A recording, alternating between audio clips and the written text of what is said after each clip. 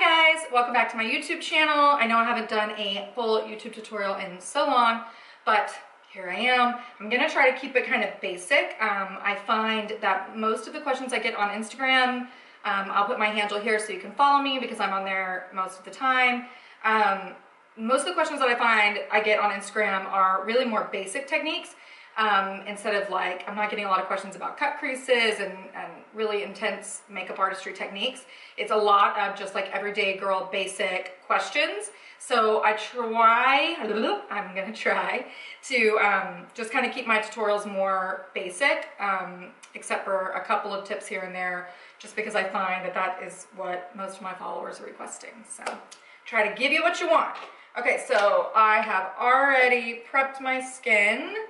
We're gonna start with YSL's primer. apply that mostly to my T-zone. And then work my way out. Okay. So I've got my YSL primer on. I'm gonna start with my eyebrows. I'm just using Anastasia Beverly Hills Dip Brow I've been trying out the soft brown. I think it's a little too dark for me. And then I think the taupe is a little too light for me. So if I had time, I would probably mix them. Um, but I don't want to really go that full. It's not necessary is what I'm basically saying. right, for today. So all I do is take, this is a, this Anastasia Beverly Hills, I believe it's a number 12. It's her brush that has a angle on one end and the spoolie on the other.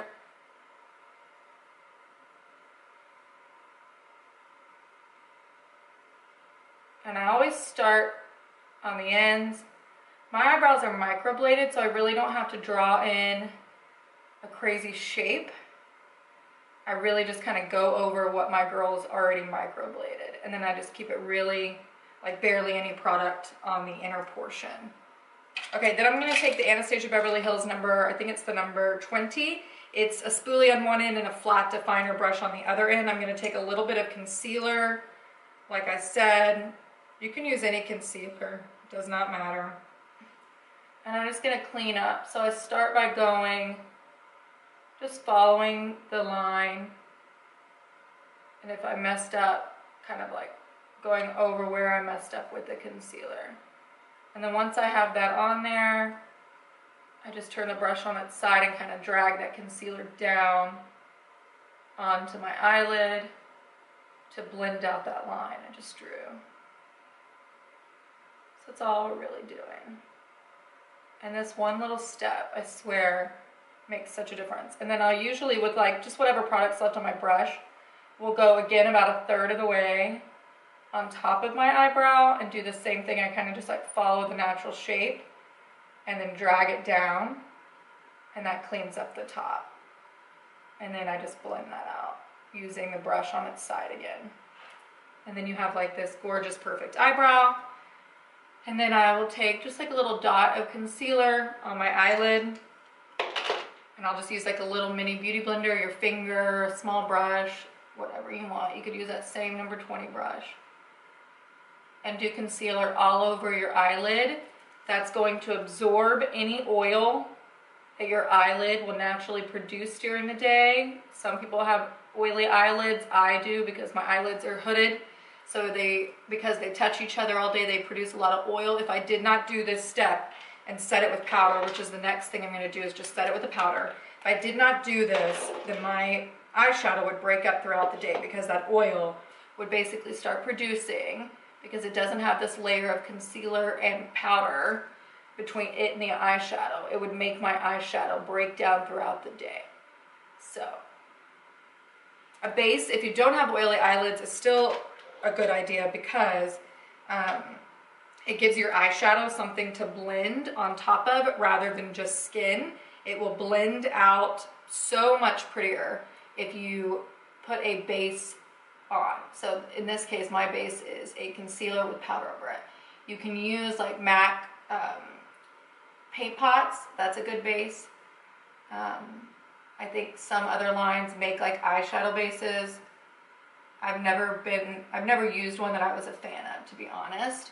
Paint pots are fine, but a paint pot doesn't absorb the oil on my eyelid. So I would really only recommend a paint pot if you don't have an oily eyelid and you just want to create a base and you don't feel like doing that with concealer for whatever reason. So I'm gonna start with a large fluffy blending brush. This is a Smith 232. You could use a MAC 224, any large fluffy blending brush. Today I'm gonna use the Jaclyn Hill by Morphe palette just because it has a lot of colors in it. But again, I'm gonna keep it kind of basic. So the first color I'm gonna lay down is called a transition color. That's gonna be some type of matte neutral most of the time it's in your kind of soft brown color range, which is like right here. So I'm gonna dip into both of those actually, tap off the excess, and then I'm gonna keep it right in the crease kind of messy. I, use, I hold my brush towards the end, not towards the top, towards the end, so that my application is nice and soft and light and it's not heavy handed.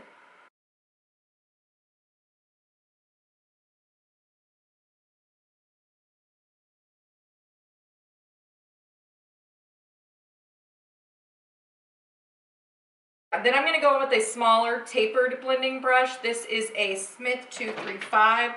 See if the camera will focus on it so you can kind of see. And we're gonna go in with a darker brown. So now we're gonna start staying more into the crease. So I'm gonna, I can take my colors a little bit darker. Put a little bit of that cyan in there. Same thing, and then I'm gonna, because it's tapered, it kind of has like a little point.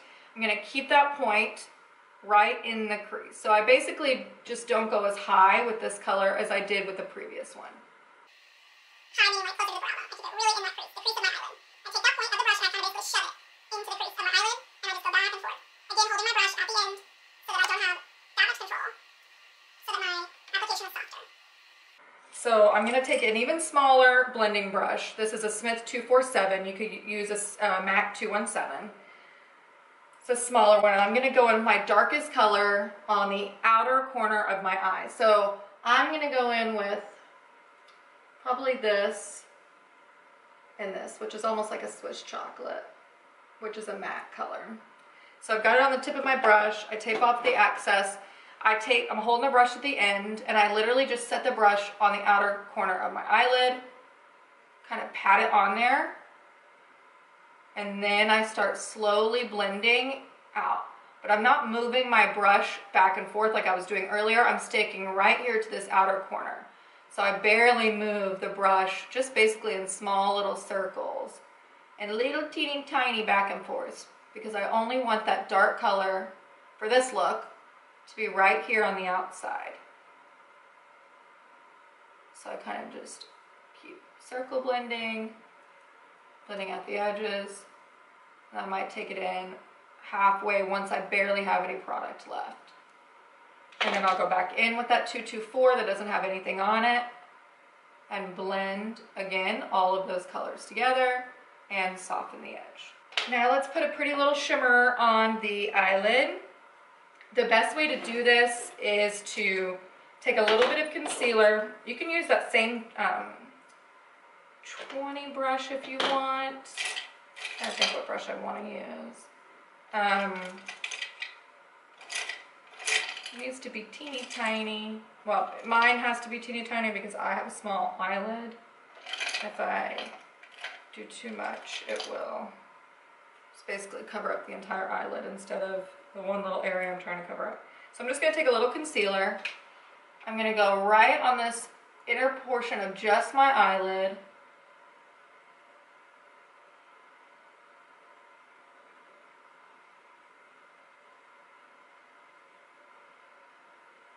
Once I have that done, I'll take a small beauty blender or your finger or another little brush. Kind of dot away any excess concealer. We don't want it to be really wet. Basically just kind of cleans up that eyelid for us. And then we can take a flat eyeshadow brush.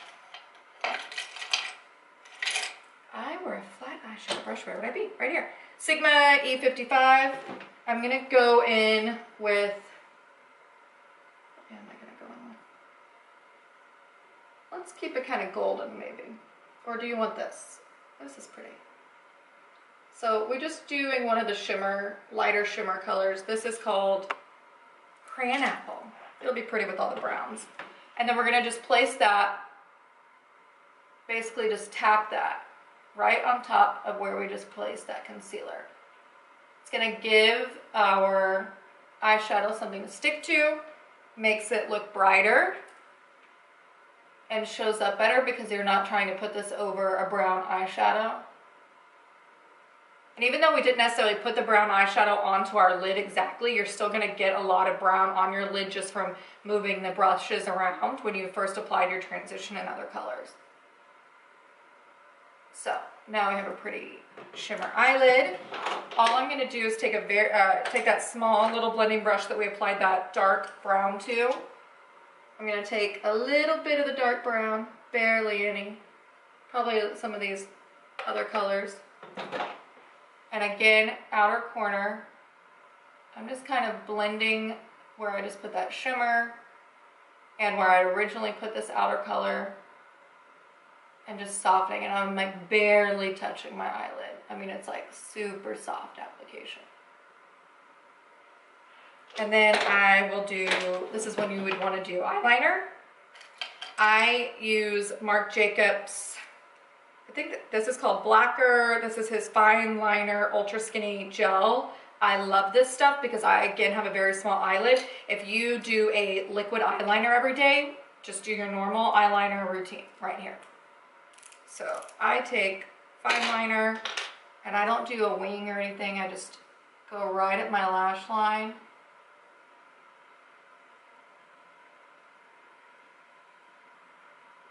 Just to darken my lash line. give a little more definition. And then I take it to the outer corner. And then I usually go in with, like this is a MAC 212. I'll go in and just go over that and kind of make the line a little more perfect. And just kind of smudge it even more into my lash line. But again, if you, I would, you know, just do your normal, whatever your preferred eyeliner method is. And if you have the kind of eye that can support a wing, you do that wing, girl. Okay.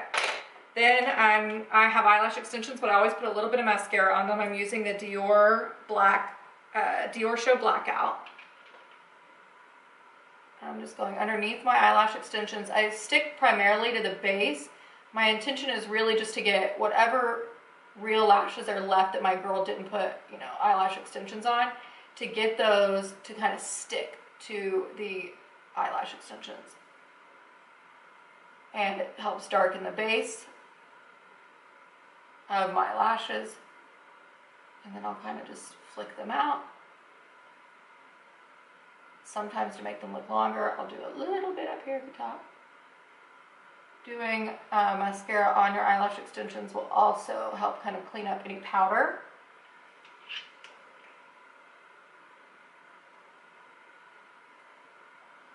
that you got on them. I just try not to like coat them in mascara because I know it's not good for them. And then I make sure that when I wash my makeup off, I'm like, I use the cleaner that my girl sells with my eyelash extensions. And I am very light handed when I go over my eyelashes. I don't go crazy. So that I'm not like ripping out my eyelash extensions and my obviously my real lashes with that. So there is one eye done. Okay guys, we're all done with the eyes nice little soft look. Now let's go on to the face. We've already, I told you earlier, we already did the primer, the YSL. I'm going in with my Holy Grail foundation, which is the Dolce & Gabbana Perfect Matte Liquid Foundation. Very hard to find, unfortunately, but it's my favorite.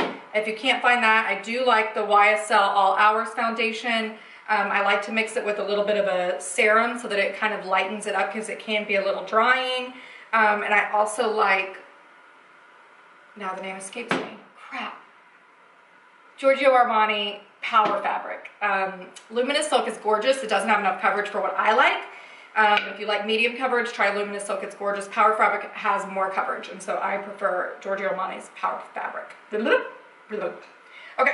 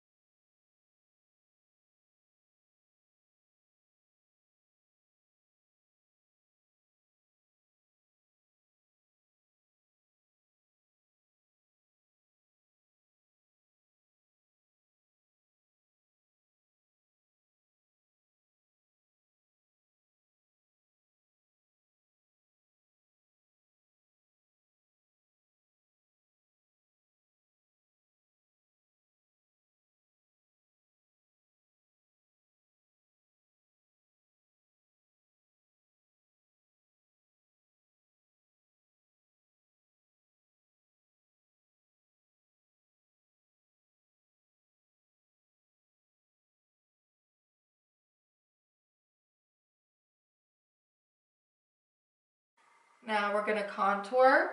Again, I told you at the beginning of the video, I'm gonna try to keep it a little more basic. So I'm gonna use a contour product that I think is a good beginner's cream contour product. This is the Charlotte Tilbury Contour Wand. Um, this is fair medium. I think she only makes like one or two colors. The only thing I don't like about it is the application wand. Um, it just, well, it's my fault. I took it on the airplane and I shouldn't have. I'm gonna use a MAC 130, which is like a very small stippling brush. Um, and I'm just gonna dip into the sides of the product since I took it on an airplane and the, uh, what's it called, you know, the, um, the pressure, cabin pressure caused, I guess because it's a squeeze tube, caused the product to come out into the lid. So I wouldn't recommend traveling with these. I don't travel with them anymore because of that, but obviously I did not know that then. So I'm just following my natural cheekbone line. If you don't have a natural cheekbone line, suck in. Follow it from your ear down. Keep mine a little bit higher than my natural cheekbone so that when I blend out, it doesn't go further down really. Because once you kind of blend, it's gonna automatically drop a little bit. I'm just kind of blending very light circles. We don't wanna wipe off all of the foundation that we just put on. So I just kind of keep it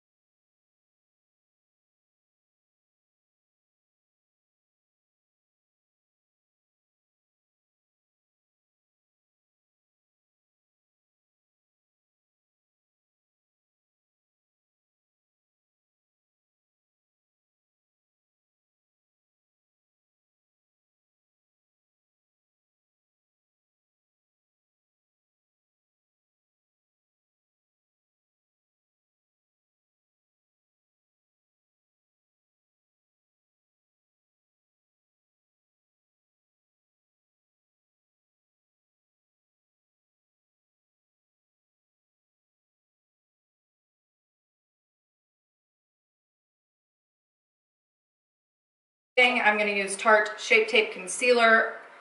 This is fair neutral. It's a little light for me. I probably will not buy this light of one next time. I'm going to do my inner corners.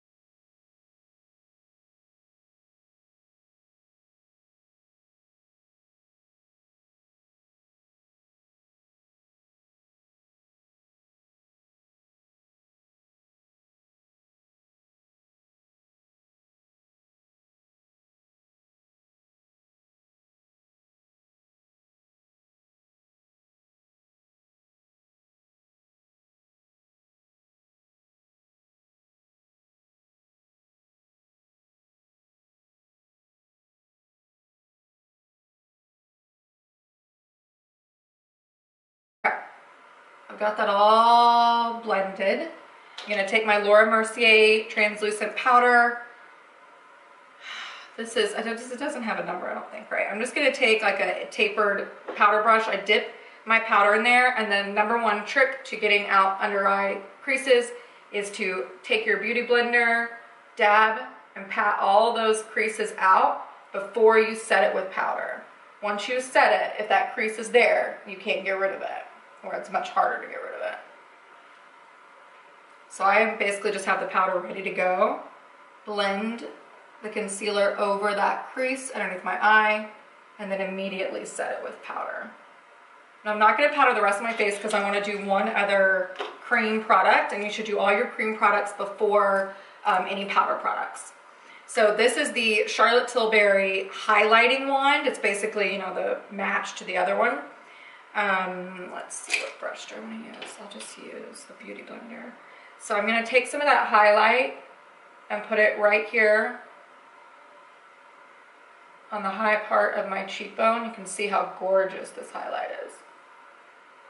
Might wrap it around a little bit. So beautiful. if you really want like a, a you know, kind of like a snatched, highlighted um, cheekbone, it really helps to do a cream highlight underneath your powder highlight, especially as we get older. You know, if you're 18, you can pile on powder products and it won't really show your fine lines and the texture in your skin and your wrinkles and all those things because you don't really have them when you're younger. But as we get older, the more cream pro or powder products that you put on, the more drying and older it can make you look. So that's why as I've gotten older, I tend to use more cream highlights, cream contours, that kind of thing. Um, and then just lightly set them with powder rather than only using powders. And then to achieve like a really highlighted look, I would have to use like a ton of, you know, highlighting powder. And it just highlights basically the texture the bad texture of my older skin. So um, cream products tend not to do that. And then once you have a cream highlight underneath, you don't really need to use as much of a powder highlight on top. Same goes with contouring. So now that I have, okay, all of our cream products are on, so we can set them with powder. I'm gonna take the Laura Mercier Translucent and just do a very light all over setting.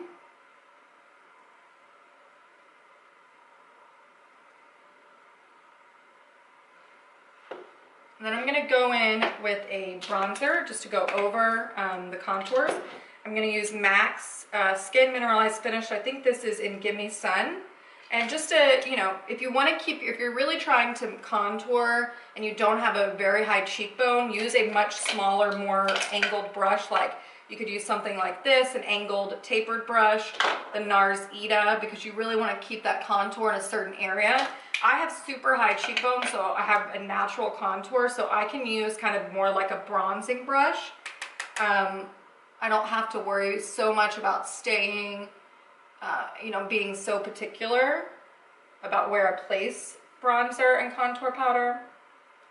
So every face shape is different. You kind of just have to learn what your face shape is and what you're trying to achieve. And if you have questions about that, you can shoot me a DM on Instagram and I'll explain further, try to explain it a little better to you if you want. Just kind of taking a little bit of that color on the sides of my nose. Okay, then we can do a little blush. I'm gonna use NARS Orgasm. Can be a little heavy-handed with blush. It tends to be the first thing that fades in makeup. I don't think anyone's ever figured out why that is, but it definitely does. Then I'm going to use that tapered brush. Any brush really will do for highlight. I'm going to use Becca's Opal. Go right over where we highlighted before. I take it up and over. Sometimes I'll just go ahead and take it underneath my brow bone. Which kind of depends on the look I'm going for. Take it down, bridge of the nose.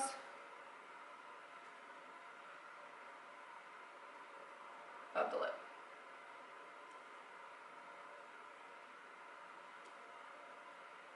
Make a little dot on the tip. If you do a little too much, just go over it with a powder brush with no product on it just kind of blend. Okay, now we can finish the eyes. So basically I'm just gonna do this lower lash line. I'm gonna use a Morphe M507. You can use, there's, it's a great Jaclyn Hill JH38 pencil brush, anything like this kind of very small little blending brush. I'm gonna go in with those same kind of browns that we used the second time, which are these kind of up here. And I'm just gonna follow my natural lash line on the bottom.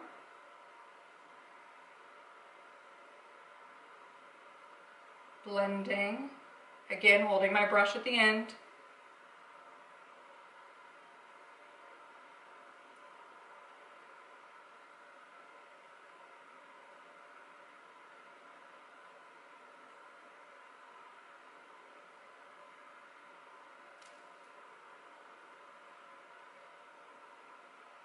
We want to make it a little darker take that flat definer brush that I had earlier that I like had to smudge my eyeliner out with and either put eyeliner underneath there um, as well or you can go in with like the darker color shadow that we used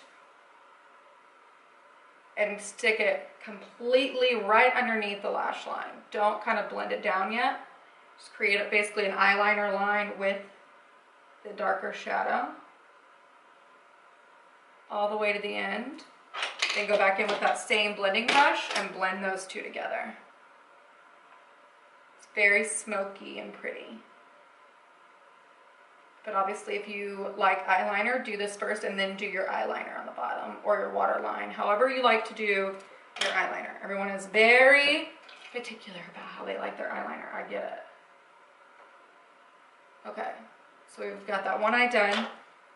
Let's take I really do like this little Jaclyn Hill by Morphe JH42. It's a teeny tiny little brush. I'm going to take her lightest colors and I'm going to stick it right here in the corner to highlight the inner corner of the eye.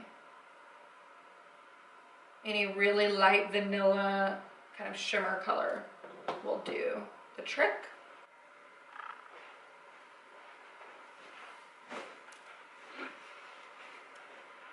Oh, my camera died, I'm sorry. But I finished the eyes. We were just doing the um, bottom lash line and the inner highlight.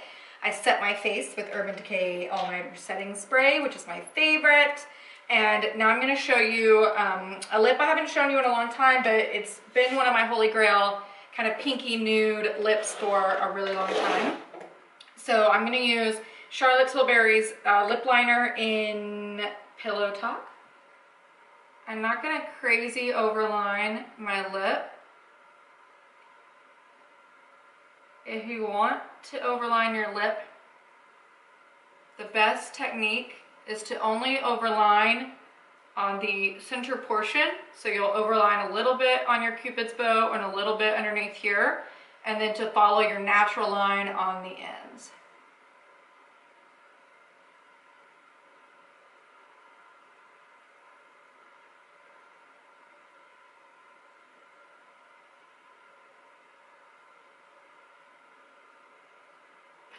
Talk is a very like popular Charlotte Tilbury color and she has it in a lip gloss which has a whole line of products um, with Pillow Talk.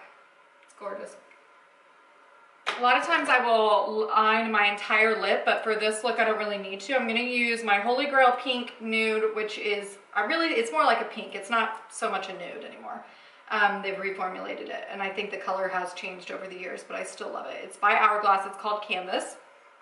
It is a liquid lipstick. They also make a matching lip liner. Don't buy it. I don't like it. It's too light. It doesn't match. This Pillow Talk I find matches perfectly.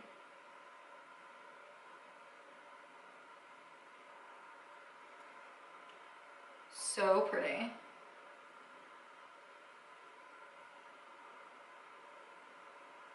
I don't do a lot of like brown nudes um, on me personally. I tend to gravitate toward more pinky nudes.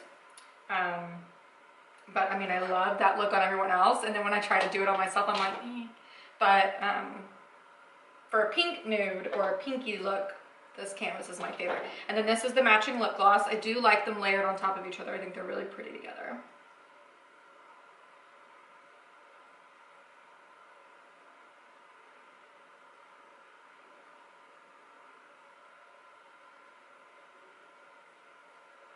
So there we go. Move this back my so you can see kind of the whole look. So I hope you learned a couple of things. Again, I try to keep it a little basic. Um, if you like this video, please click, I think it's the plus, you haven't done YouTube in forever, I forget. I think it's a, click the subscribe button so that you'll get notified when I post new YouTube tutorials if you don't follow me on Instagram, but I usually tell you on Instagram as well. Um, but then we'll shoot you an email when I post a new YouTube video if you subscribe down below, and then always give me a like if you don't mind. If you enjoyed this video, uh, in the comments or on my Instagram, you can shoot me a DM if there are other ideas, uh, videos that you would like to see, whatever content um, that you would like, let me know. And this is the final look.